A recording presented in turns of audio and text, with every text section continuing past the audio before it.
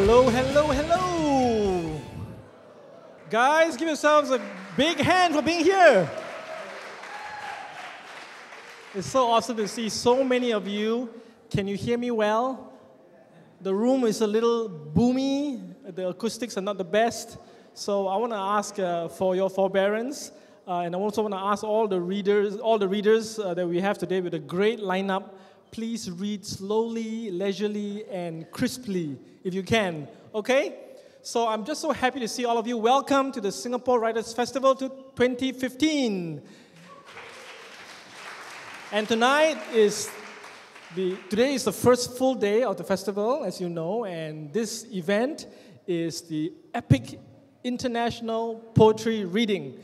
We've got seven excellent, excellent writers from all over the world who are going to come here, and today is a sampler platter. All the best writing in the region uh, and internationally around the world will be sharing with us uh, their, their writing. So please uh, do warmly welcome them. Okay? I'll introduce each of them in turn. So for the time being, I'd like you to just sit back, relax, and enjoy. Oh, but before I do that, duty calls. I need to say a very special and warm thanks to our key program and venue partner, the Arts House. Please give them a round of applause.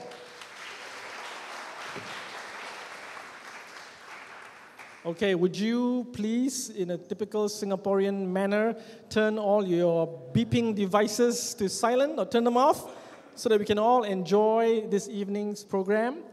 And uh, please be reminded also that while you can take uh, pictures and video, uh, flash photography is not allowed. Uh, don't blame me if the writers throw something at you, okay? So without further ado, we've got a very warm welcome uh, from uh, some Singaporean or international dancers. Uh, today's this festival's theme is the Island of Dreams. So the um, the dancers from Kapa Hula, Kale Maile Hiilani are here to give you all a very warm welcome. Let's welcome them.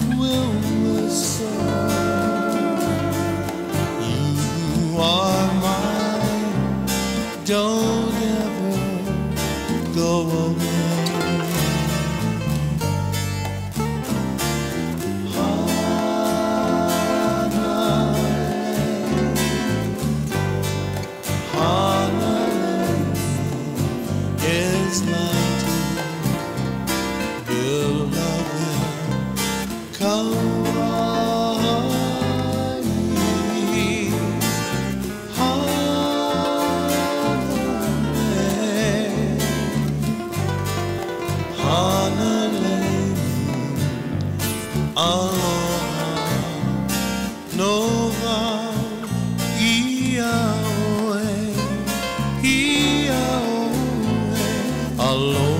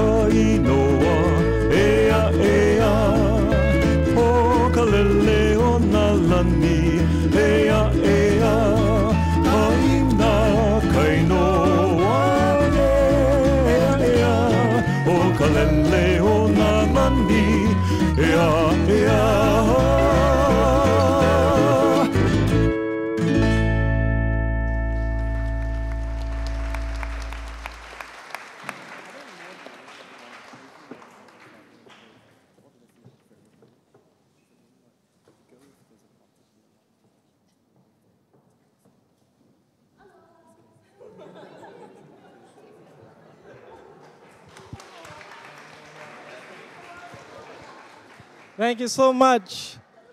Let's give another round of applause to our dancers.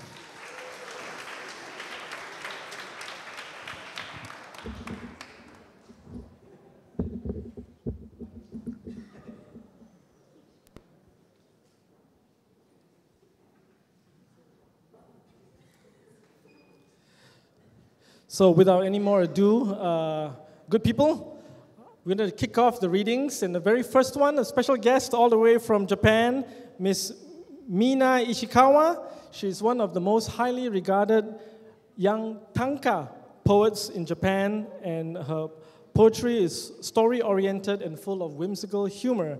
And uh, she, uh, together with all our other special um, uh, guests for today, will be uh, appearing in other panels and readings uh, throughout this week. So please do look out for her. Miss Mina Ishikawa will be accompanied by her translator, Mr. Moto.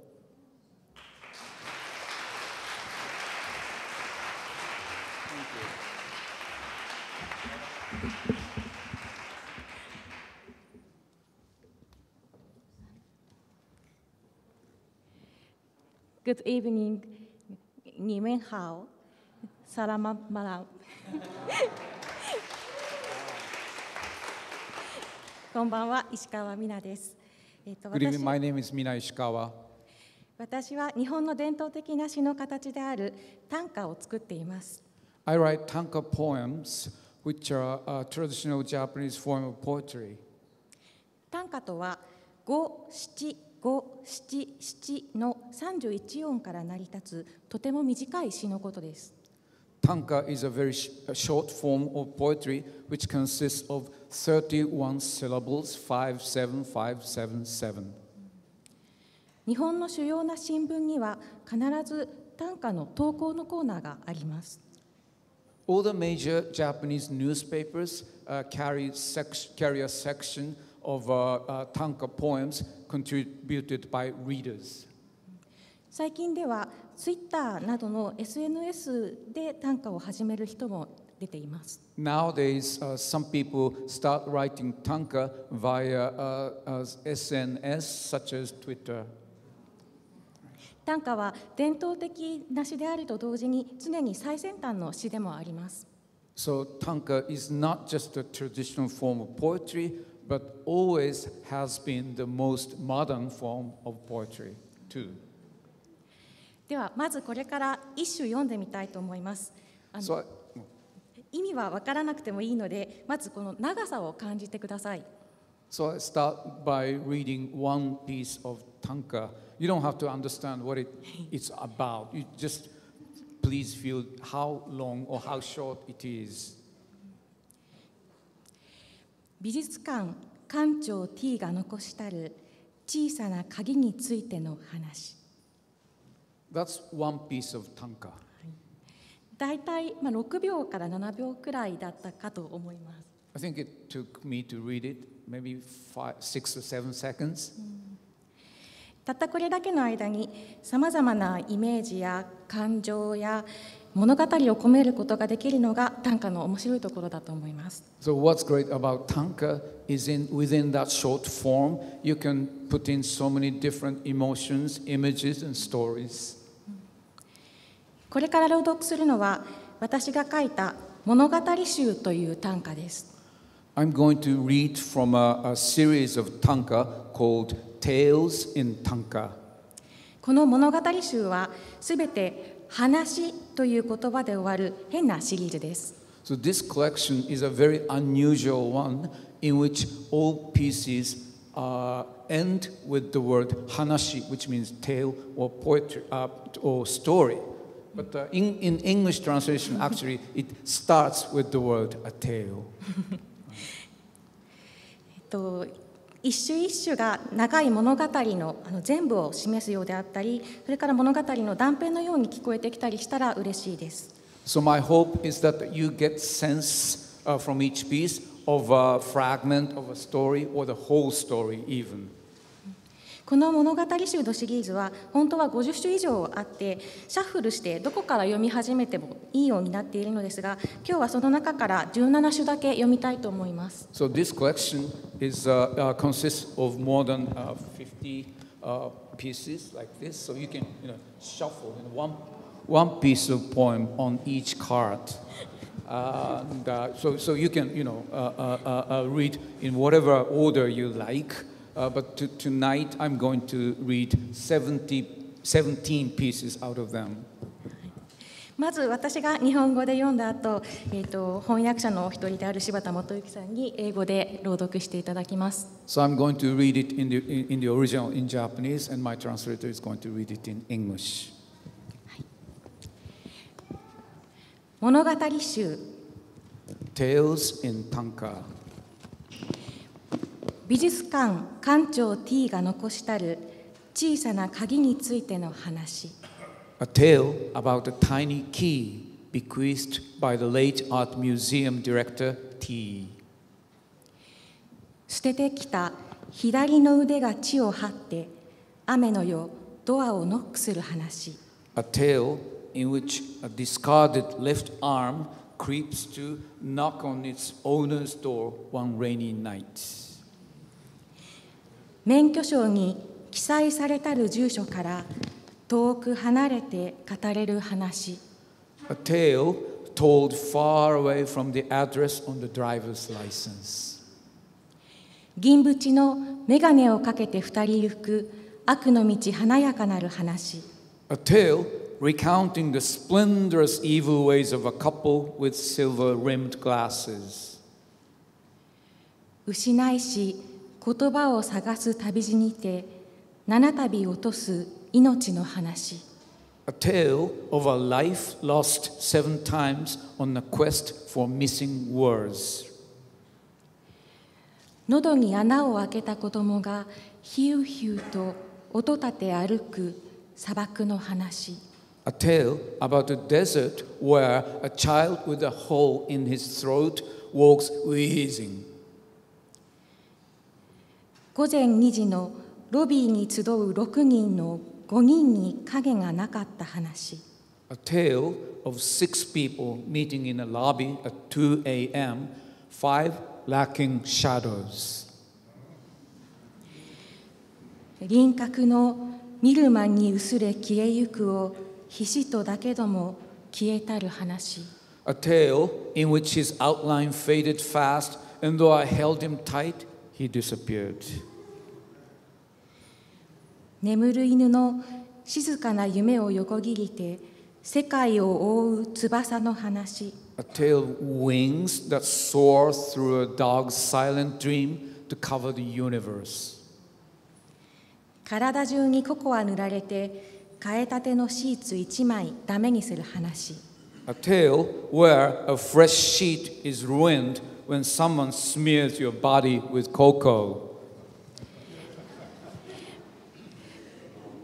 朦朧と口に運びしのぶどうがあなたの指に変わるまでの話 A tale in which the wild grapes I absent mindedly pop into my mouth becomes your finger.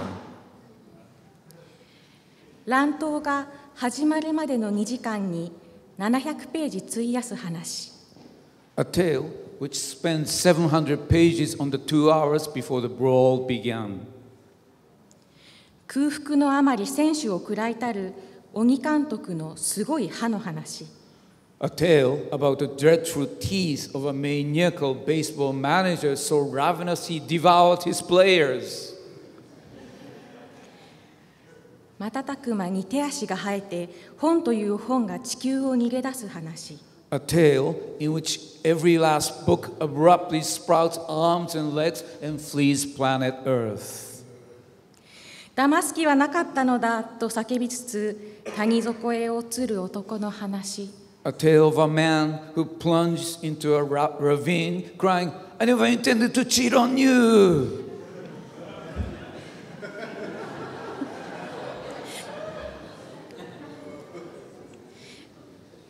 旅立つ日コートの中で温めた小さな鍵を手渡す話 A tale where, on the day I leave, I give him a small key I've warmed in my coat.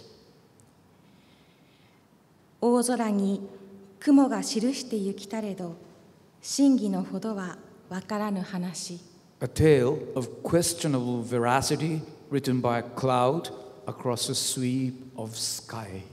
Thank you very much.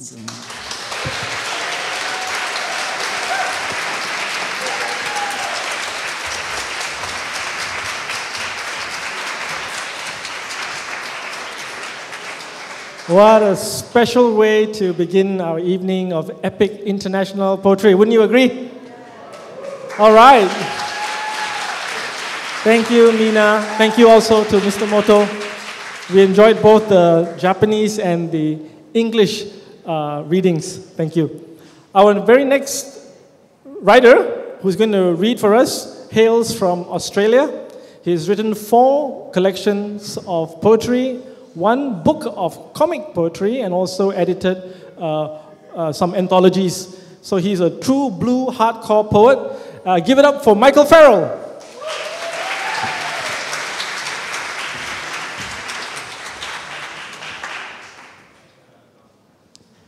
Thank you.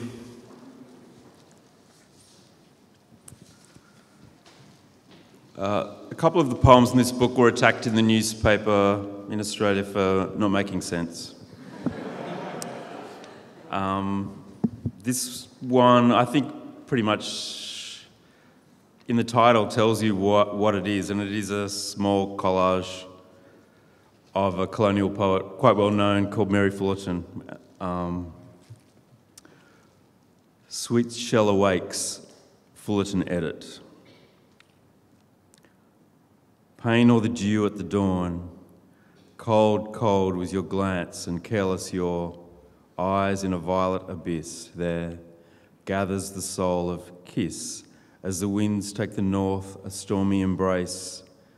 He shall frost from your indolent face, and gentle and sweet as the south, kiss in the bloom on the mouth, tossed on the sea. What is your me, dainty and delicate, with the waves rough safely? Enough, never a crack, or your gentle genie have, well, tell me, wove your fair frame, went your tiny guest, say how, spans of, spans of strife, raptures of love,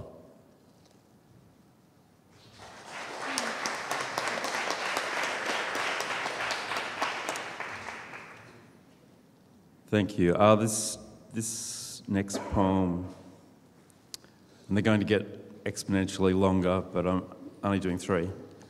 Um, I don't know if Kimba was shown on TV in Singapore. Does anyone know what Kimba is? One voice. It's probably an Australian.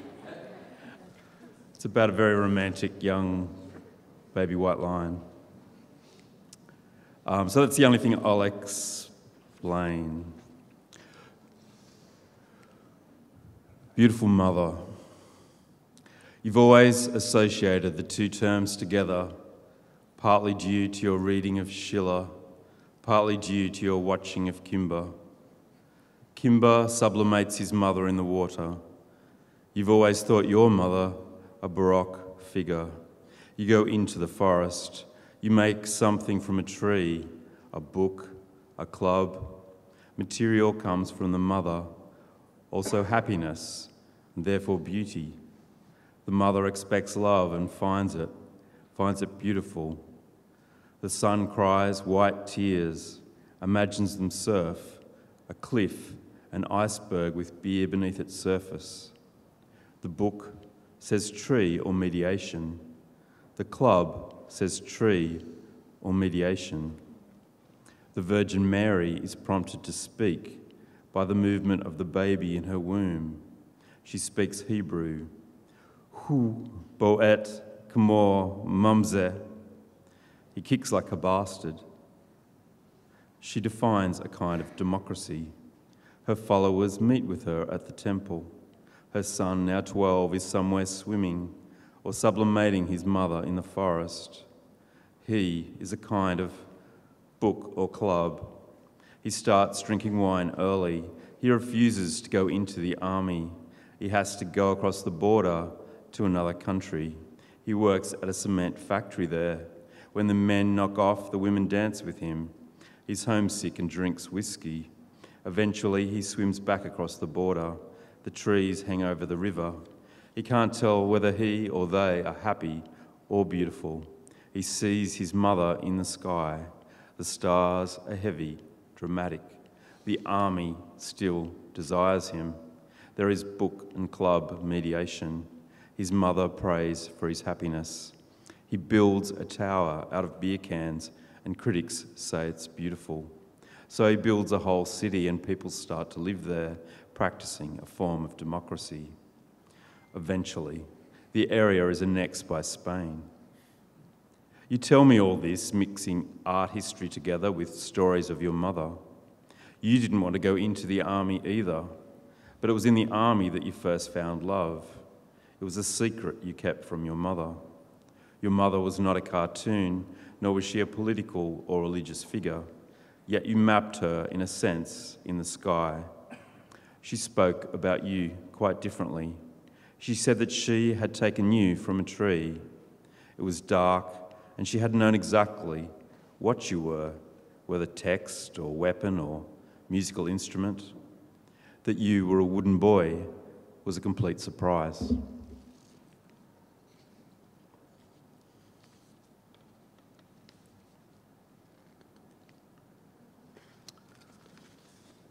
Uh, this poem, I'll just explain the uh, explain that the bunyip that appears at the end of the poem is a mythological figure Indigenous Australian figure. Um, you'll see why I chose this poem.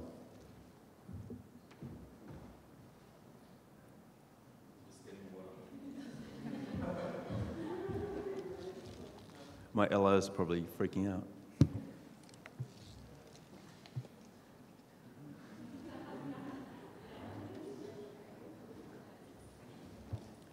An Australian comedy. He's learning to see other men as third person cinema, latent with photographs, the laughter knife in the lost jar. He's brought his dog with him, sophomoric thing to do, but they're inseparable, like glass. A grasshopper lands on the robot's instructions, and the clothes are grasshoppered for a week. A timeless street is rezoned and crumbles.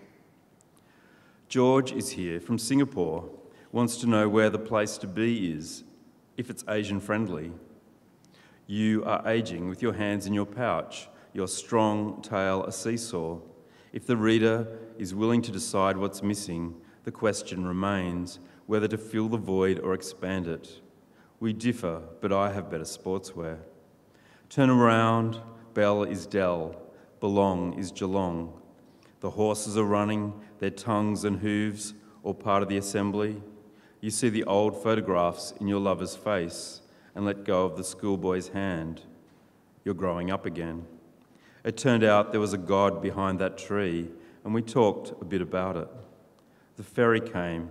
They say they don't know, yet make noises at night, like possums swallowing loads of ants and throwing them up again. A wicked waste. There in the bed, in the middle, yet somehow separate, lie Sartre and Beauvoir. George finds a piece of, uh, finds a piece of shade shaped like Finland and lies down on a buckthorn. The dog orders curry through the record player, but it never arrives. The flags say, Help, we're out of musicians. The Rolling Stones arrive to talk about their glass making hobby. A grasshopper lies down in shade, the shape of Broadway, or else the head of John the Baptist. What planets are the best for poets to be born under? The Rhinus knife in the temporary jar. He let theatre speak for him. Folly, mortology, a jumper that claims to read Thomas Hardy, but really just follows the plot. Ordinary, index, insult, and injury. Their noble values are debatable. He was looking for Asian spinach in a non Asian grocer's. What's missing is inevitably there. The goat farm was forced to wear a mute button, though it was the smell their neighbours went to war over. The poem stretches like an apple, composed using conceptually thin words, was the screen advice. The rabbit and badger, both heraldic animals of England, both associated with unpleasant talk. After dinner, we wait for the billy to babble filling our mouths with dread, which is good for the drain. If a forest creature, like a sentence, a Japanese nephew called the Japanese, gave them Gertrude Stein every Christmas, fearing that Samuel Beckett would be too gloomy, too goat farmy. For the same reason, he never included them on links to news stories about police officers bashing, police officers bashing people to death. The gay one made counting uncomfortable, and the resourceful Anglicans invented a new number, half two. Half two seemed to embody the ultimate, ultimate, ultimate, ultimate, ultimate state for people, and evoked for George the novel by Frederick Rolfe, Desire and Pursuit of the Whole. Your name, as they say, here. The tracksuit lies down in the shadow of a porridge truck and is stained by a passing koala. Following the tenets of minimalism, you remove the stirrup from the pancake. It tastes fine without it. Every line on his lover's face invites him on an eerie journey. There's an Anglican phone line that flatters the over 40s. Press half two to hear you look just over 30. Every day he drops an orange on something, nothing learned about that. It's acting like a possum in a tree without a tree the leaf blower came. What a waste of ants. He came home to find divine in the shadow of the garbage bin. He was snoring the tune of Waltzing Matilda. Nyuk, nyuk, nyuk, nyuk, nyuk, nyuk, nyuk, nyuk, nyuk, nyuk. But on waking, claimed to not know the song. The smell of dog food came through the speakers, but no one thought to turn the record off. The flags say, Help, we were out of Daddy Cool, and Mondo Rock came and talked about those early days by the river of Babylon, of cowboy hats and Molly Meldrum, when every mother wanted a gay one under a gay sun, all the while knitting with boot polish. Mars shines down on the grasshopper in its bowl, the trouser knife in the bedroom jar. He was hot and small, like a haiku in a microwave. George had to undress him just to stop the windows steaming. So many kinds of cabbage the English have shiny cabbage, poor cabbage, park cabbage, I think. Really? Many kinds of quack, too. English quack, Scots quack, Australian quack, American quack. The goat wanted poster stretched around the apple tree, so it was spared. Text before progress is a saying. The merlion is Singapore's heraldic animal, but like the rabbit and badger, there is no taboo against eating it. There are several restaurants in Chinatown where you can get a merlion toasted at your table. They make good yard pets as long as you have a pond. After 15 cups of tea, you feel like a string of bucks that dusk for money in the twilight, listening to the tragedies issuing from the cathedral and throwing in joke grenades, the stirrup spoon stirring in the pancake jar. He licks it, his tongue like an exploding cocoon. His feet act like possums. A waist, the dog is miming, the careless whistle of a good friend. The flags say, We want overtime and refuse to even cast shadows on the poor swaggy lost in the 21st century. Some say he used to be an Anglican bishop, but he seems to have a dignity about him as he tries to buy a cabbage online. It's a beauty for the right people, the ad says, but it sounds like duty and it tastes like it too. Australians like to see alternative farm animals turkey, turkeys, donkeys. It's too boring otherwise. Driving down the information highway, seeing dog DJs now turned swaggies with their records under their arms that they heat up over campfires, waiting for a truck to spin them to perdition or wherever you go in a secular universe. Poetry anthologies pile up by the side of the internet, rusty as a prayer belt, while witches dance around them in army uniform. One thing about the army is you don't get to go into art galleries much. If you're on leave, you can duck into the big museums, but you miss those little galleries. That's where it's all going on. And you know, so often the big ones are undergoing renovations just while you're in town. The war dead lie down in the shadow of the goat farm. A bunyip reclines on its non novel reading arm. It's probably just a pig showing off. Two larrikins, they have a knifely charm, are there on a, are there on a date. What are you into, mate? They say, like a couple of badly translated flags or figs. Grasshoppers wait confidently for the syrup. Thank you.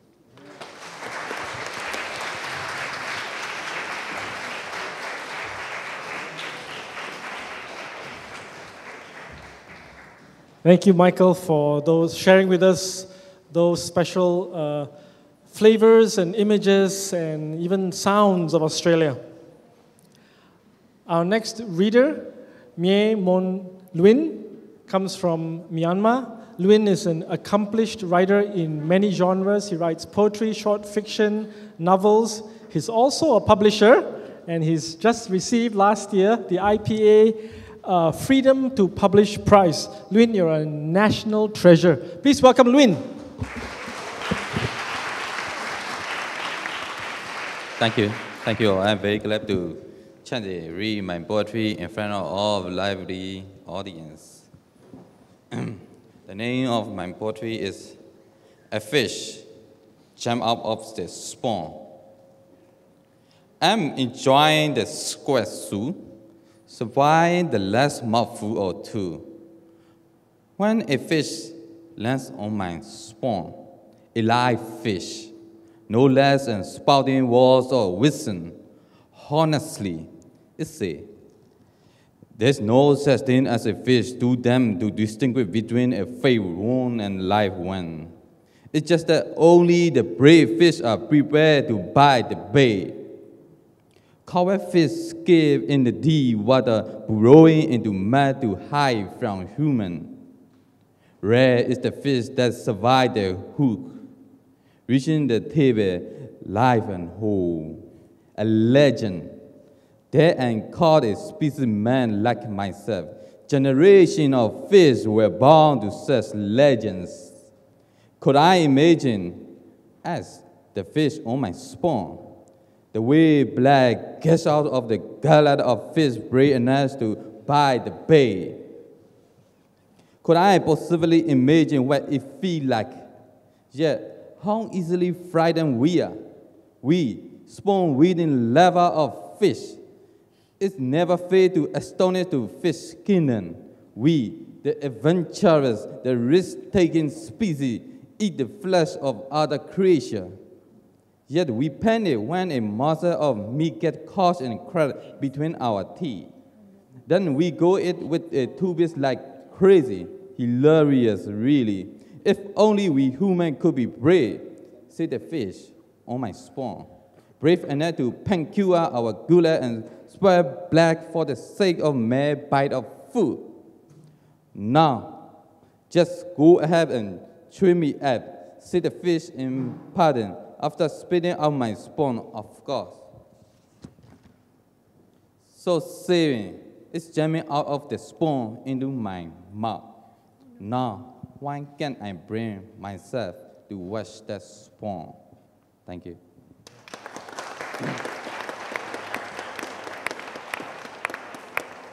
Uh, the second last poem in for this minute is Eight Flow True Poetry. Give me a quiet place, step after a step. Sound of beer bottles in hand. The small staircase into the darkness. It is so late. There will be a step floor after the second floor. I see a chain of sensory. I see the thought of a lamppost. Take care of footsteps. Keep on going up. Don't think about your exhaustion. It changes the field of imaginations. Keep on going up on the stair. Where is the package of peanuts? In my plastic bag? Children are coming down. Oh, don't make noise. Kids, you should be sleeping now. This is not for you. This is not for you. This is not for you. This is not for you. And keep going at with my ration in my hand. We say aloud not to think about tiredness having some sum, keep on going at one fly or stare after on the other, and there your destination. Why are there so many fly of stare? Why didn't they make them straight? Don't think about it. None of your business. Go on a step after a step. By the way, where are you going now? To Lima? To Anshui? Don't think so much the main purpose is to get the upstairs easily. Keep on going step by step. Don't make a mistake. Keep on going and now arriving higher. This may be the final flight of stair. Don't be tired. Keep on ahead. I'm now on a eighth floor. The flat is locked from outside with not just one but two locks. However, I should knock the door. Thank you. Thank you so much, Lwin. Just such unique rhythms and such a spirited and lively reading. Thank you so much. Uh, our very next reader is Ravi Shankar from the US. Oh, he's got a whole ton. His CV is very long, actually. Uh, I had the pleasure to be in Manila with uh, Ravi last week uh, when he taught a fantastic poetry writing workshop. So, um, well, just very briefly, uh, he is the Pushcart Prize winning poet who founded Drunken Boat, which is one of the world's oldest electronic journals of the arts. He's edited some fantastic anthologies of poetry uh, from all over the world, including from Singapore. Um, He's got a lovely uh, book that I was just reading the other day. What else could it be? Ekphrastics and collaborations, in which you really just got together and collaborated with different poets in writing poems that were inspired by other forms of art. He's currently a professor of English at Central Connecticut State University and also in the International MFA program of the City University of Hong Kong. Please give a warm welcome to Ravi Shankar.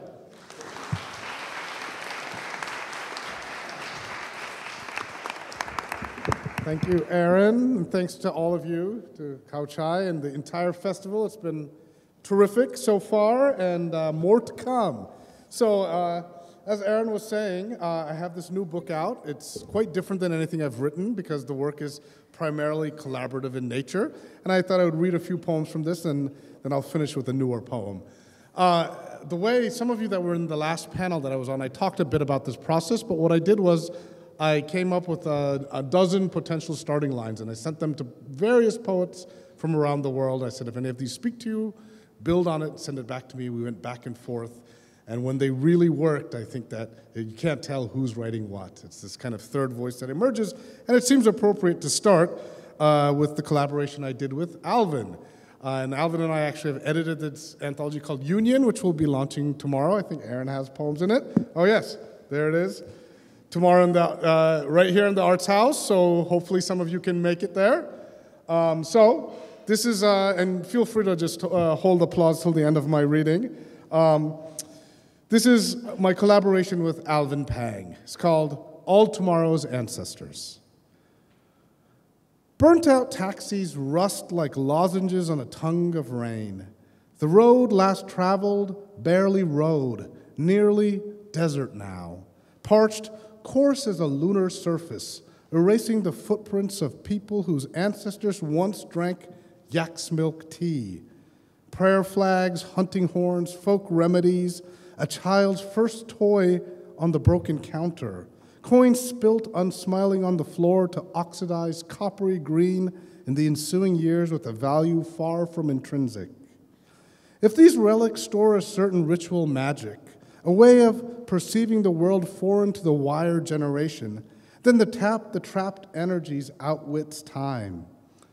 Time was, Grandpa says. The sea came all the way up here where your uncle lost his faith to silence.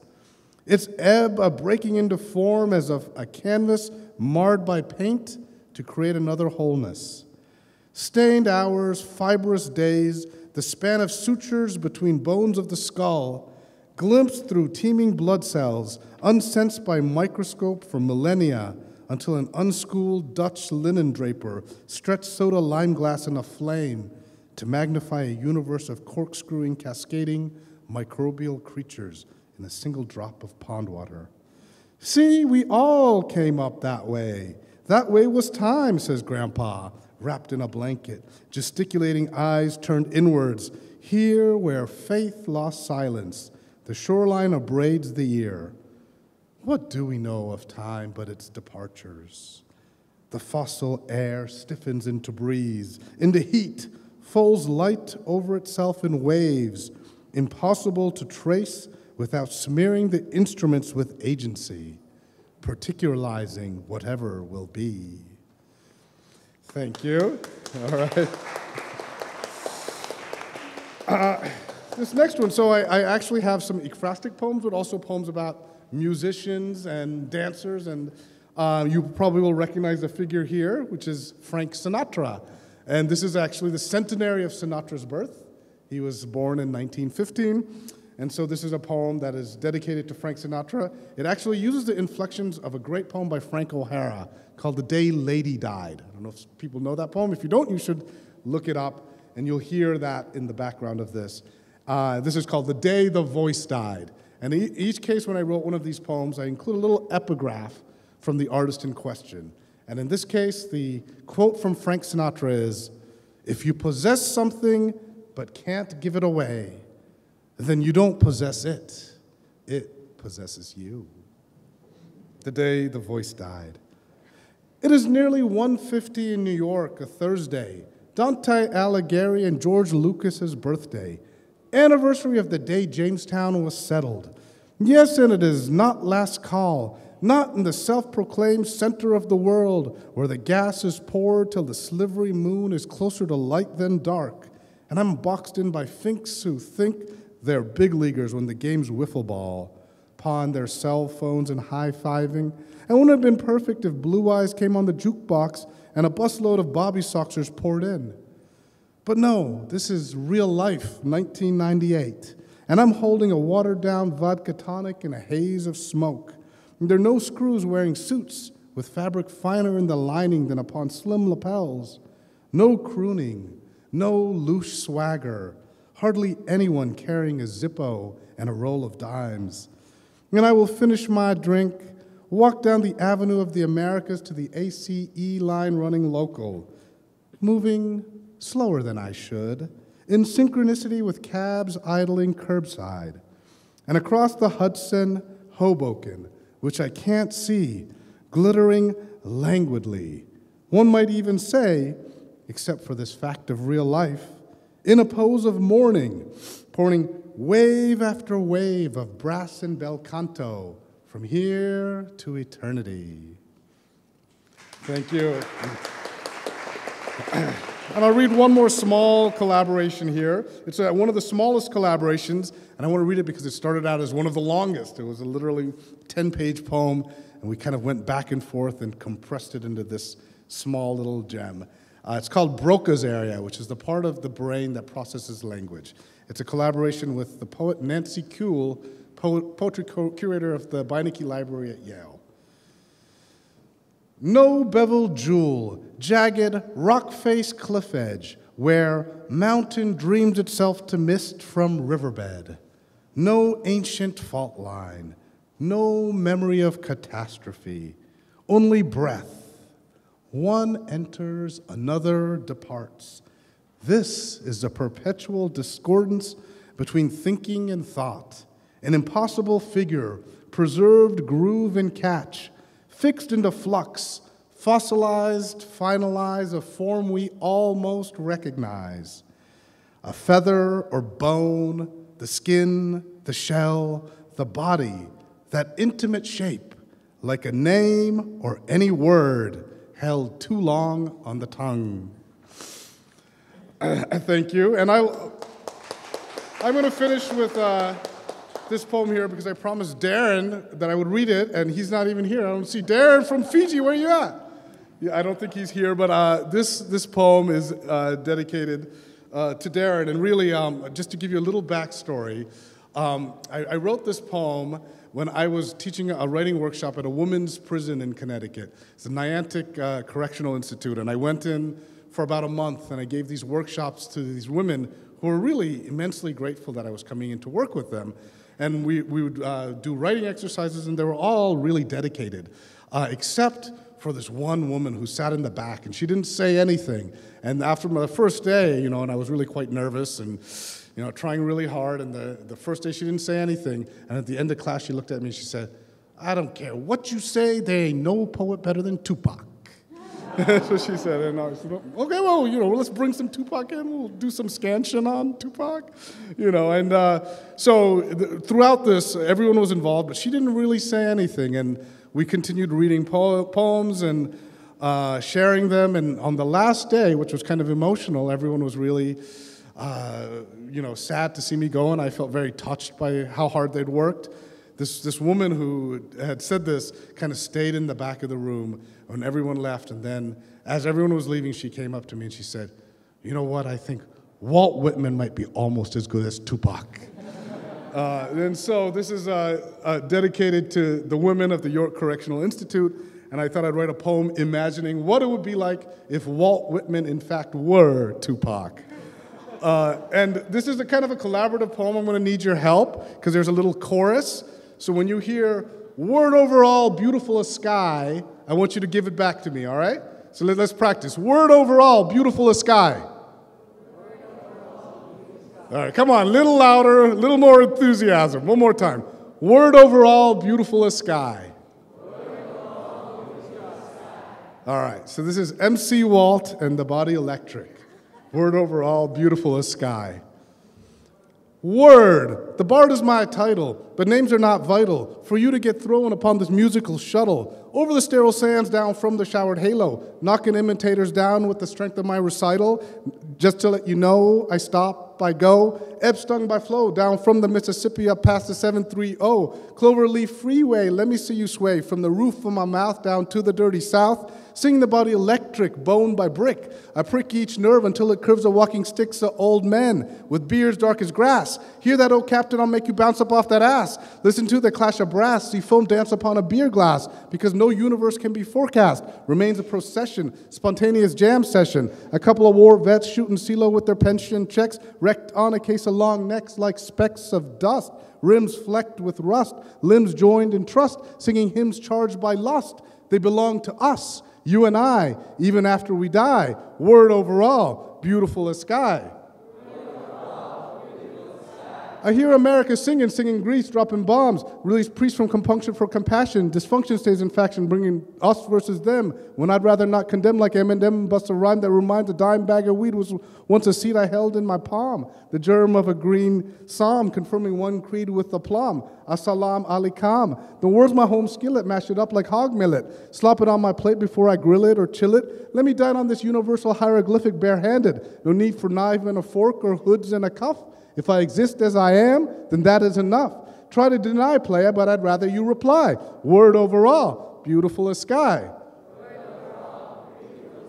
Who's out of the cradle rocking endlessly? It's the MCWALT. Who sits in the shade pondering silently? It's the MCWALT. Who thinks the mystic de- delirium most fervently? It's the MCWALT. Who speaks to each stranger as you speak to me? It's the MCWALT. So when accrued, I contain multitudes. Ti- uh, when accrued, I contain multitudes. New Jacks and OGs, time and space. Hustlers and pimps, the whole human race. There's no place I haven't been where I will not go. No levee or dam that can staunch this flow. It's trackless, vast, divine, unsurpassed. Dry and bubbly like Moet and Chandon. Put your dew in a perm like a hair salon. I don't represent East Side or West Side, but the Milky Way past just a forest to the Quai d'Orsay, from bowling alleys to river valleys to all you can eat buffets, from the Caswaduki ropes or missing their teeth to uptight social lights who can't eat or sleep. I'm not above or below anything you see, an acme of things accomplished, an enclosure of things to be. So shout out for yourself if you shout out for me. I'm just an MC with the gift of gab, not locking it down for the cheddar or for the hood rats. Not doing it for myself unless by me you mean you, fitting flavor in ears like Reebok fits shoes, leaving you and I, even after we die, hurling words like birds in the sky. Thank you very much.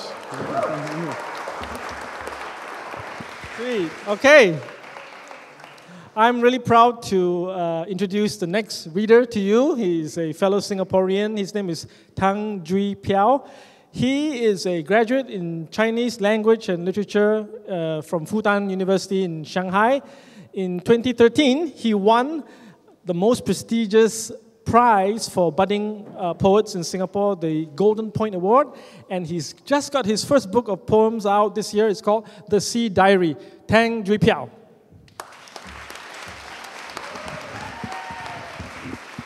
Hello. I'm truly happy to be um, to share the stage with six very established um, poets. Um, it's almost like a dream, island of dreams. Reading poetry in Orchid Gardens, and one of the poet um, today is my high school English teacher. So, so it's almost like a dream. Um, I write in Chinese, and Chinese philosophers um, always say that life is like a dream.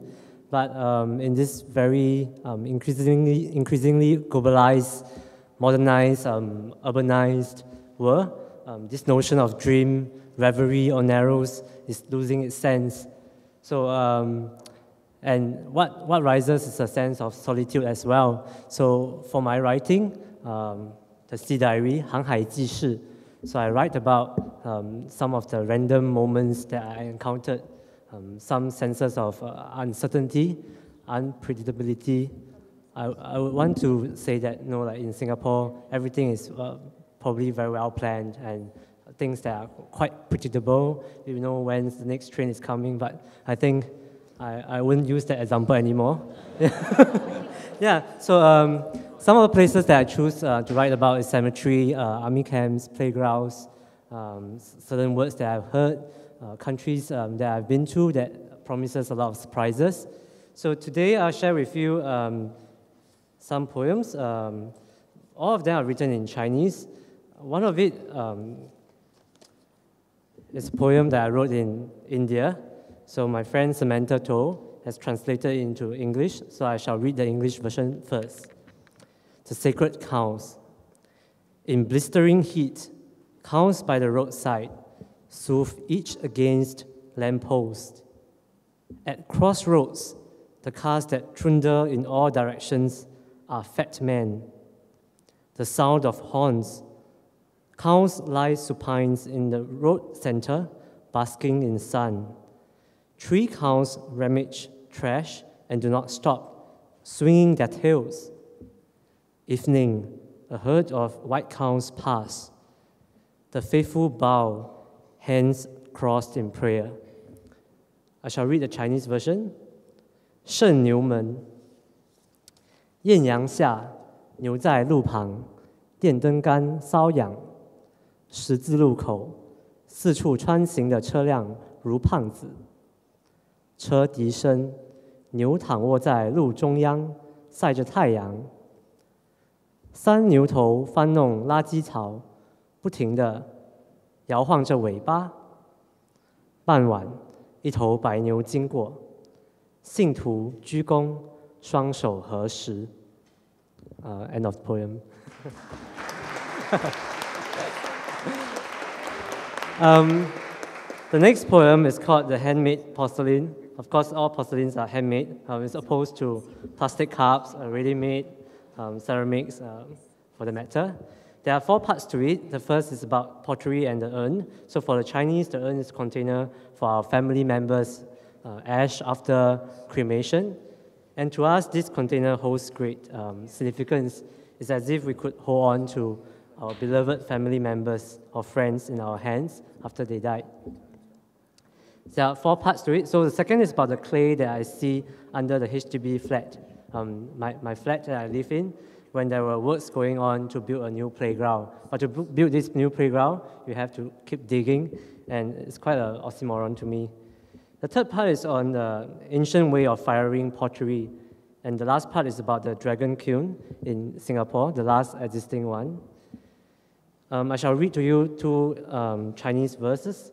Um, I, do, I don't have an English version for this. Um, I'm not trained in translation for literary works, so I shall not embarrass myself. 手工瓷要比烧窑更高温，才能得白灰，而今焚人体，火化后甚古。倘若再高温，会不会连灰也灭绝？彼时家属捧白骨坛，里面装着无量的国度。第二，泥的本色是白，高火下照出白瓷，纯粹之非常。家屋楼下，工程挖出的土，总是熟悉的桃泥红。树根，大雨后露骨，浓水泥滩，树与树凝望着白刷的游乐场诞生。That's the end of poem. Um, the last one that I'd like to share with you is called The Floods, uh, 石头神话. Um, this poem is translated by Chao Tek Sing. Um, he's a Chinese poet as well in Singapore. The flood, the floods of Noah, the floods of Gilgamesh, the floods of Yu the Great, the Xia Chinese legendary king, and the Bill's people were unable to move the stones of Sisyphus, Madam Nara, no, Madman Naranath, and Yu, Yu Gong, the Chinese mythological master named Foolish. The Chinese version, 石头神话，洪水， 诺亚的洪水，吉尔加美舍的洪水，大禹的洪水。冲不走西西弗斯的石头，Narana 的石头，大禹的石头。Thank you。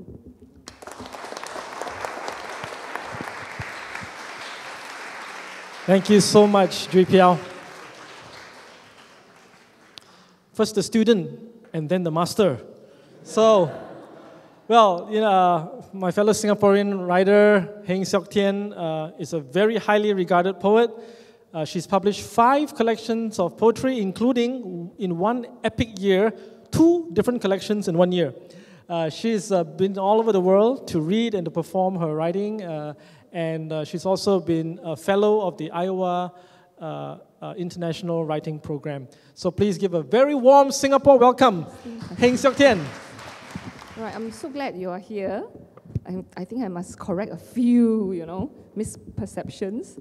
Uh, firstly, I think JPL is too kind. I wish I could claim credit that I taught him directly. He acknowledged me because I was a high school teacher at the same college. However, I can claim credit for teaching some students who are here. So I'm very grateful that they're here to give me support, finally, in a capacity, not just as a teacher, you know. um, yeah, thank you very much for um, coming. It's, it's overwhelming, you know, to, to see so many people at a poetry reading. Um, I'm actually going to try and read uh, one poem from each collection. Um, usually I write short poems, so I'll just choose, I actually chose the shortest possible because I'm very pragmatic being the teacher, right? It's the time of the night, you know? You've had a long day, the poor organizers have had a long day, you know? We want to cut them some slack, you know? So I'll choose the shortest poem, but I do want to read one longish poem, so I'll, I'll prep you mentally. Um, um, on a more serious note, I do have basically just one major preoccupation in my poetry um, explorations, and that's about the tension of being a um, more conservative uh, kind of Chinese um, who is brought up right, in a very uh, more protective Chinese um, environment where my parents are not literate. But my mother, being a very brilliant woman, uh, born ahead of her time, my late mother, um, insisted that we have an English education. Um, that is why I could use, speak, and write English. But being brought up in a non um, English speaking environment, having to speak uh, a different dialect, um, do raise all, right, all these kind of questions. And that's why my poems deal with the tension of this kind of clash, as well as the medium of language.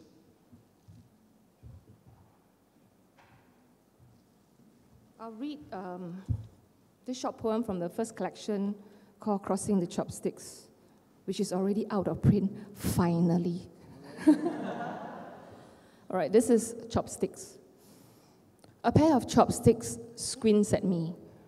My pragmatics teach me Western convenience in fork and spoon. My parents frown at my cultural unrespectability in crossing the chopsticks. There is an etiquette for handling chopsticks, handling lives. Suddenly, how to handle chopsticks involves a moral dimension.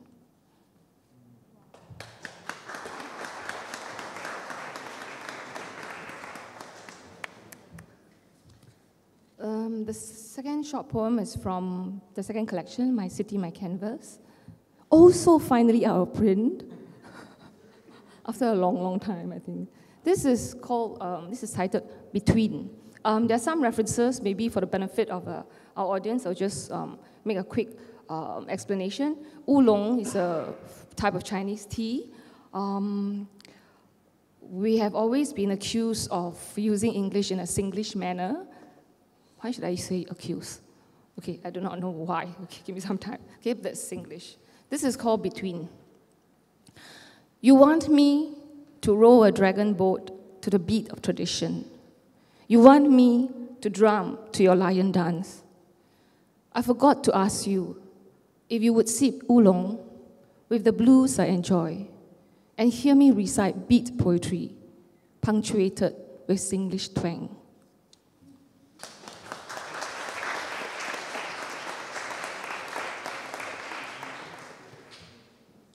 Um, this third poem is written as my response to the very reclusive American poetess Emily Dickinson, who once wrote this is my letter to the world that never wrote to me. So when I was at IWP, I spent the whole three months writing back to her. this poem is entitled Good Morning Breakfast. There's one reference, again, for the benefit of my students who may not know. I refer to Amherst. That's the place where um, Dickinson spent many of her years, I think, right? Yes. Okay. That's Amherst. Okay. Good morning breakfast, Hawkeye Drive, Iowa City. Unused to morning dose of cereals with milk or sliced cheese on wheat bread or bacon and eggs. Used to bihun and fish cake or nasi lemak or prata, market style.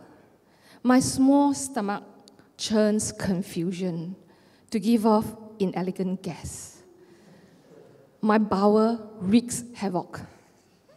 And now, toilet seated, while I once would have squatted with countryside manners, with all the due respect, I think of Emily. Now, now, what did you have for breakfast at Amherst?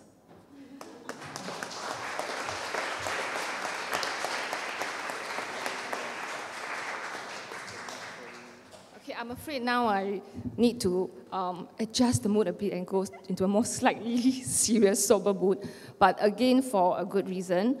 Um, this is um, the longest, one of the longest poem I, have um, ever tried, attempted. It is a seven-part poem. When I wrote this, it's for my mother, but now I'm reading this in memory of her. Um, I just lost her this year. So please pardon me if I um, pause.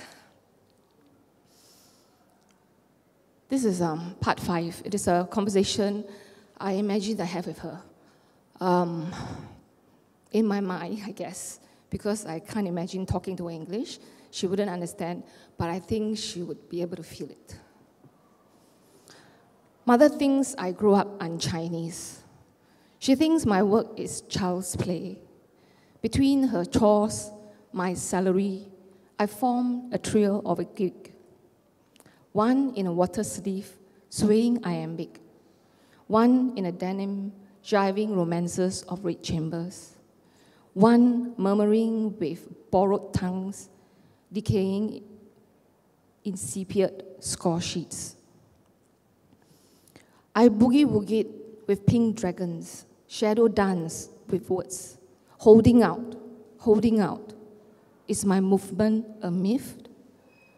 I lived among men and great ruins. My soul is shattered along capes and islands.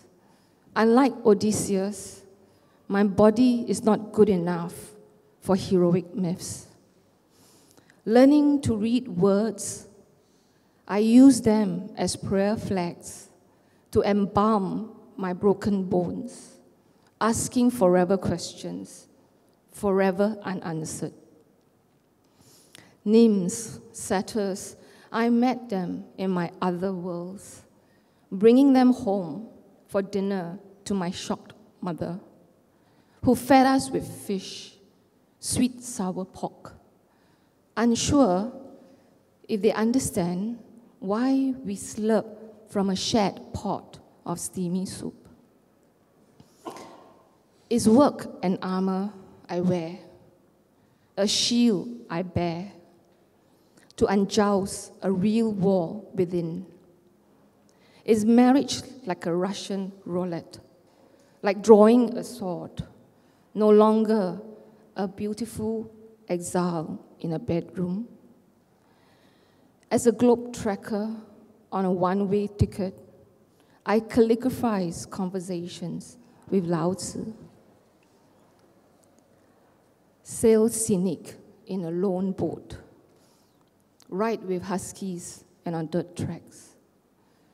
I carry home the views of glacier purity, sharp sheets of crystal aesthetic. I look for Bodhi trees, but find those dripping cherries. I begin jeep jogging, guided by the light that reaches green gullies. Between my ashrams and shrines, I see my hollow, hollow life next to suffering men, long suffering wives. Yearning for the clarity that ages hold steady, that sages hold steady on the arches of their nose. I bend over under the weight of my frailty. That's the end. Um,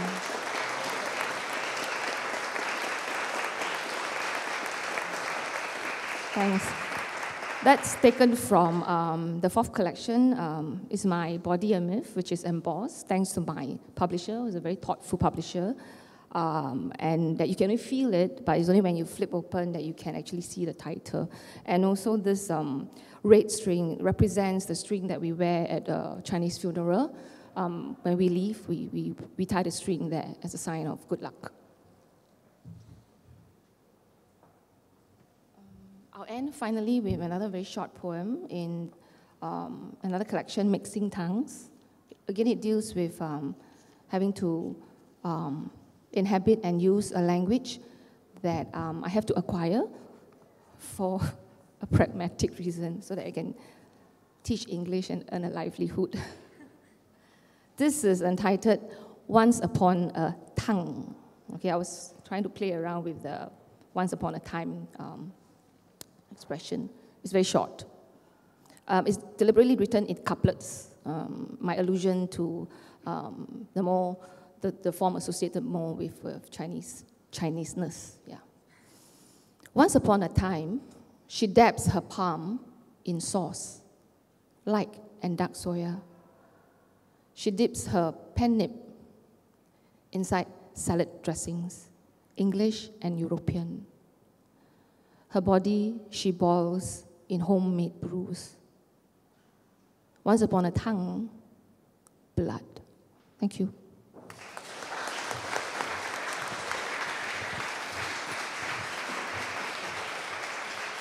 Thank you so much, Siok. Uh, because she's my friend, so I, I, I dispense with the full name. I call her Siok. Yeah, she's a good friend. Uh, thanks for sharing those so heartfelt and, and, and powerful poems. So, friends, uh, we have one more reader to round up this night of epic international poetry. And it's my pleasure to introduce Linh Dinh to you. He is a Vietnamese American writer who has published uh, uh, five collections of poetry and, and short stories and a novel called, um, I, f- I forgot the name of the novel. L- Love Like Hate. And he's got a new book coming out as well. It's a book of political writings coming out in January this year. Uh, please give it up for Linh Dinh.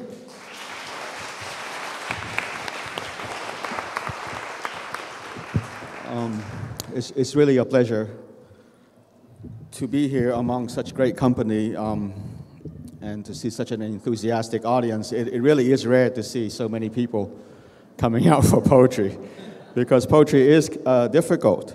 Um, the first piece is called The Difficulties of Poetry. Okay. This poem was written underwater in a steel bubble surrounded by blind and asexual fish.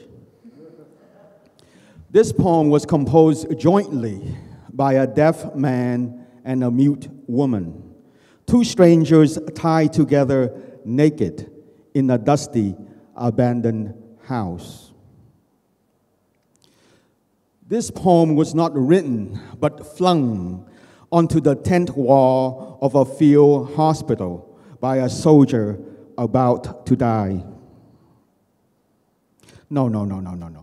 This poem was incised in concrete, in sub freezing temperature, in complete darkness. This poem was sketched with tinted dirt. No, it was transmitted with bird sounds by a decomposing corpse. Actually, this poem has not been written under the best of conditions. The lamp had a green bias. The day was overcast.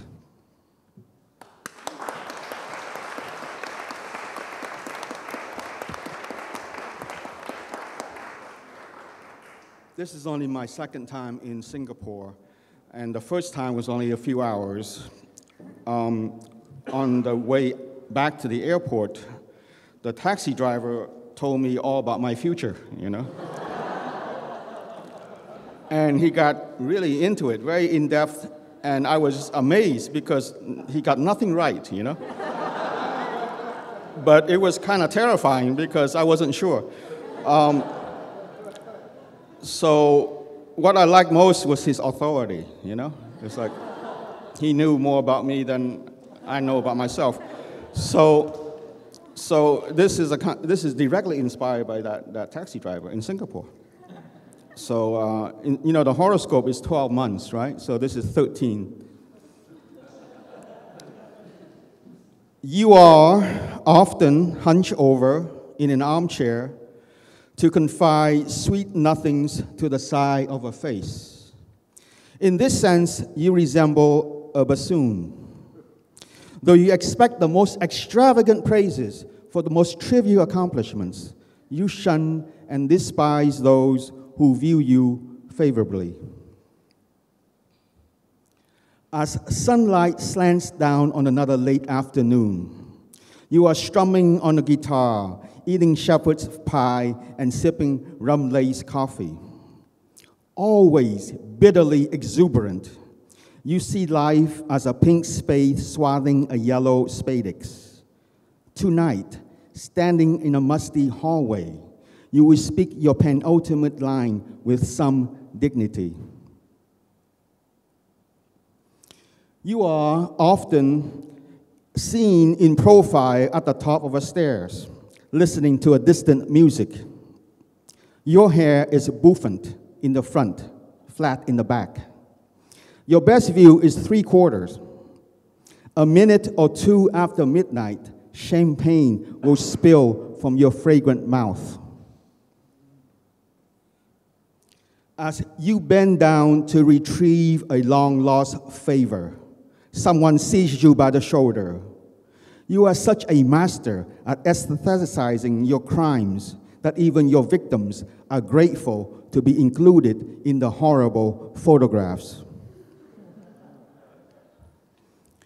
Inducing doubt and self hatred in all those you come into contact with.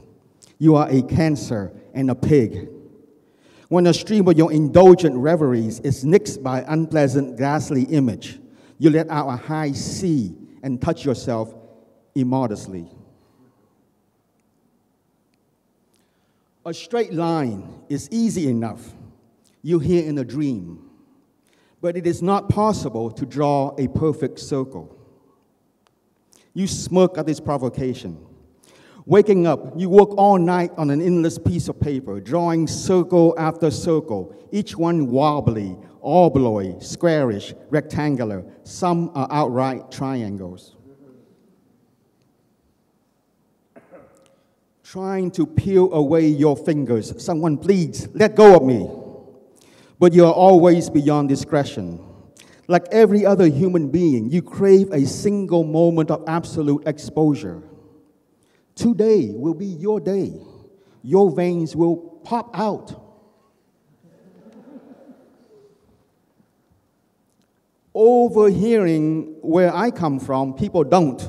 You punch the speaker, a blind elderly immigrant, in the face, knocking two teeth out, before you yourself are knocked unconscious by a blunt instrument from behind. Waking up days later, you are told by a lugubrious dog that he too has often slept through the best moments. In the men's room of a small town bus terminal, you discover your oil portrait in a trash can. You cut the canvas out, then stuff your folded face into your back pocket. Later, you notice with irritation that where your nose should be is just a clay pipe, and your mouth is just a hole. You cannot understand the story of a youth who falls in love with his own reflection in a spring. Where you are, water doesn't reflect. Nothing reflects. One's view of oneself is made up entirely of other people's verbal slanders. Told by your employer to buy a new shirt, you respond, To buy a new shirt, sir, is to assume that I have at least two more years to live. Such presumptuousness cannot go unpunished. What's more, there will be this outlandish incongruity between a brand new shirt and my already worn out body. Such an incongruity would cause my entire being, every single cell, to feel an unspeakable shame, a shame not on the skin, but in the skin, a shame to bring on my early death. You wake up to a jungly tune. On the ceiling is a water stain showing your mother's face in three quarter view. A suspicious fluid drips on your forehead. You wish there were a hand the size of an umbrella to protect you from all of this fresh degradation.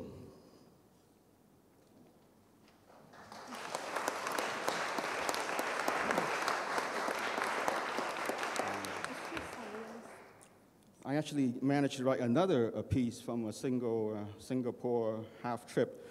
So hopefully this time there'll be more poems because I have a few days here. Thank you, Singapore. Um, I wrote a series of uh, one uh, sentence stories. Uh, I also written one sentence uh, uh, poems. So this is one of the one sentence stories. These are kind of uh, labor saving literature. a boy was born on the luggage carousel at Singapore's Changi Airport.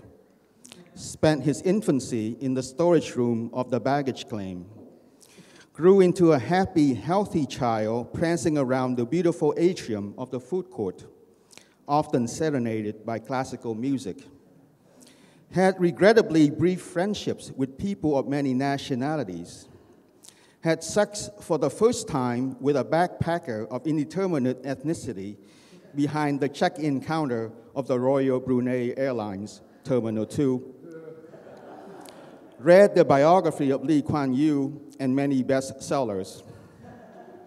Spent much of his middle age brooding in the departure lounge, then died of abnormal uh, hernia um, in a well scrubbed stall of the men's room.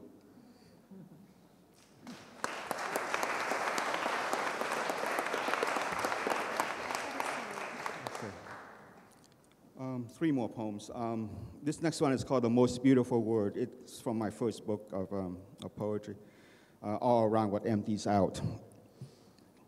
Uh, some of my work is also uh, very um, focused on language, uh, perhaps because I'm not at home in any language. Um, I also write in Vietnamese, and um, I spent, you know, three years in Europe. I'm teaching in German, Germany now. So, you know, here's another displacement. There's a guy in uh, Leipzig who sells me sausages, and every time he sees me, he tries to speak Vietnamese to me. And he doesn't make, I can't understand a single word, but I applaud his, uh, his courage at least, right? And also his, uh, uh his sweetness, you know, to try to communicate with me. Uh, it's called The Most Beautiful Word. I think vesicle is the most beautiful word in the English language. He was lying face down, his shirt burnt off, back steaming. I myself was bleeding.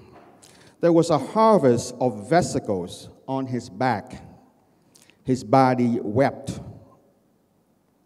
Yaw may be the ugliest. Don't say the bullet yaw inside the body. Say the bullet dance inside the body. Say the bullet tumble forward and upward light slanted down. All the lesser muscles in my face twitch. I flip my man over gently, like an impatient lover, careful not to fracture his C spine. Dominoes clank under crusty skin, clack, clack. A collapsed face stared up. There was a pink spray in the air, then a brief rainbow. The mandible was stitched with blue threads to the soul. I extract a tooth from the tongue. He had swallowed the rest.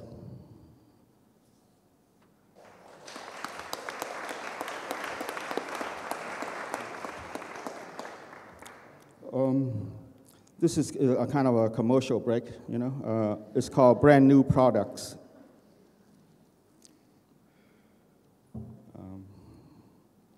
Brand new products. A vigilant gun that always picks out the right target, even if it's you, no matter who you are aiming at. A computer that listens and blows you as you blow it to your favorite tune. Meat that cleans your teeth as you masticating it. A truck so awesome, only the President of the United States of America is allowed to careen in it to his own beat. A dictionary with positive adjectives only. A dictionary with no wet verbs. A dictionary with negotiable definitions. A dictionary that defines words by their antonyms. All the greatest hits from the last millennium performed live on stage on the inside of your state of the art acoustically enhanced skull.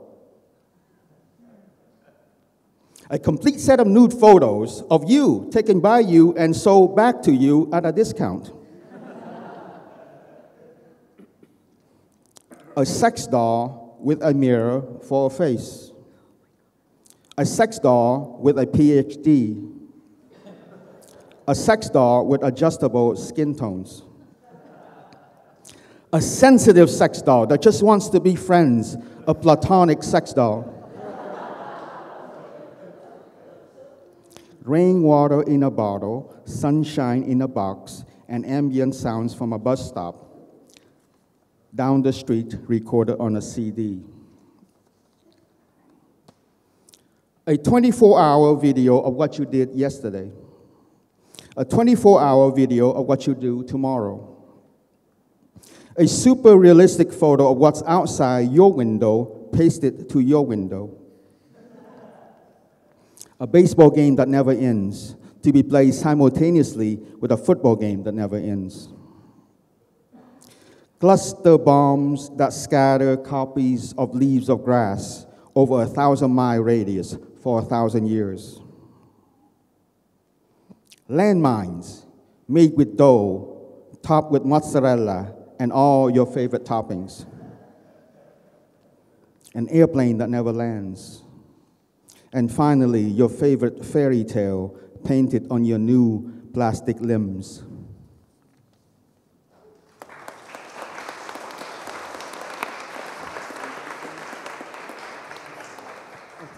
Um, I'll finish with a true story, okay? Um, this is called my, uh, my Grandfather the Exceptional. This is a true story about my grandfather. He walked a thousand miles from his native village. He didn't intend to go that far. He had wanted to walk maybe one, at most two miles, but before he knew it, he had walked a thousand miles from his native village. After each mile, there appeared a new village, each one utterly different from any place he had seen before. At each village, he settled down until they either threatened or politely asked him to move on. He would work at whatever job that was available. He was at various times a barber, a woodcutter, a sculptor, a slave, a moneylender, a, a beggar, a politician, a policeman, a thief. He learned new costumes, new slang, new ways of standing up, of sitting on a chair, of sneezing, of scratching his nose. He got new haircuts. Without being aware of it, he learned to dissimulate his true likes and dislikes. He became overeager to please. He also became hyper conscious of every single detail of his increasingly abnormal body. He accrued many unpleasant nicknames. Occasionally, he would fall in love, be rejected, reject in turn, propose, get married, father children, legitimate and illegitimate, divorced and reconcile. Once he was drafted into an army and fought bravely against an enemy whom he half suspected to be men from his original village. He was captured by these enemies, then repatriated in a prisoner exchange. At another village, he was anointed a poet laureate, although he could not speak the local language. Finally, at his last village, he looked around and was relieved to find out he was no longer exceptional. Because all old men look alike, disgusted and disgusting, he was finally welcomed into the fraternity of those waiting to die. Okay, thank you very much.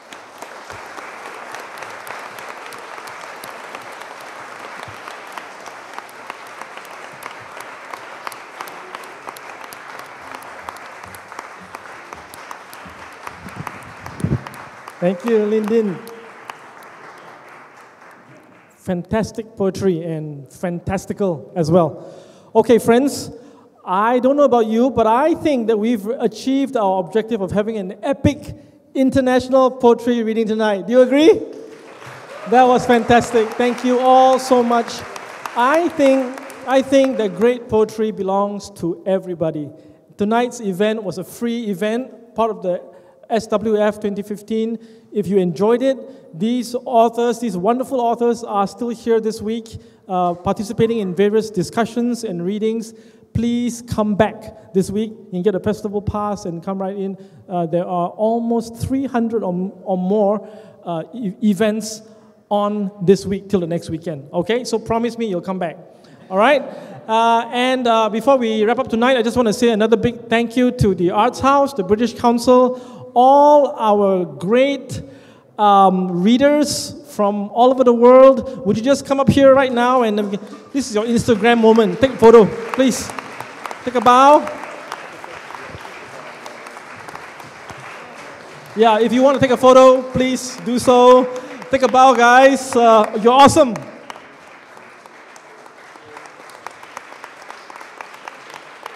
Yes, and thank you all, every single one of you, for staying.